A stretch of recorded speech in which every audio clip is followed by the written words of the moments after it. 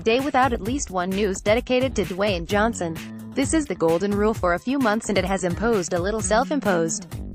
Must also say that the guy, he never stops. We do not have time to breathe with Dwayne Johnson, as the comedian producer continues the projects at an infernal pace. Hardly anyone publishes the criticism of his rampage that Beam must already take care of Skyscraper. And hardly has anyone spoken of his Die Hard with a wooden leg that Jumanji 2 is pointing the tip of his nose. Ten days ago, The Rock had already posted a message on his Twitter to warn us that Jumanji 2 was obviously going to be done. Inevitably, when a film brings in $956 million worldwide and is Sony's number one film in the US, you should not expect anything else. And if he teased us that Kevin Hart was surely going to hit the whole face, it was a little big anyway.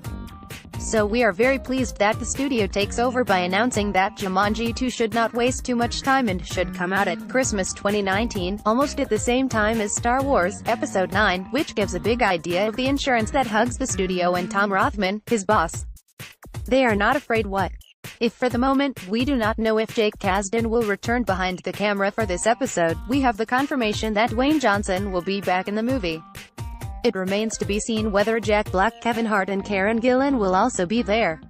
The scenario is currently being written, so we should soon have news, even if the doubt does not seem too much about their return.